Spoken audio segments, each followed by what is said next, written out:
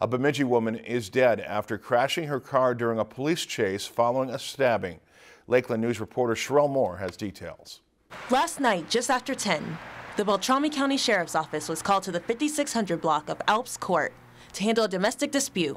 The night ended with a deadly crash in a ditch along Highway 89. Uh, uh, Raymond Oliver, he reported to us that he'd been in an altercation with his girlfriend at their residence on Alps Court.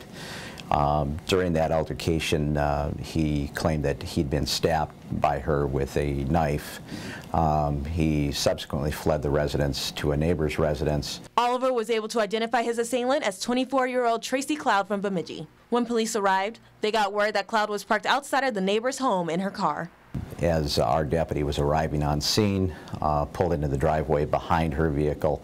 Um, she subsequently then fled across the yards from the driveway to escape uh, from him. Uh, he initiated a pursuit uh, from that location, uh, which uh, went from Alps Court up to Highway 89. Cloud reportedly traveled 20 miles north before the chase ended in the crash. The vehicle had entered the right shoulder. Uh, appears that uh, she had overcorrected.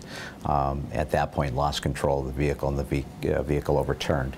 Cloud was ejected from her car. Police and ambulance personnel tried to give aid to Cloud, but she was pronounced dead. It had been reported that speeds varied between 100 miles an hour and 125 miles an hour. Okay.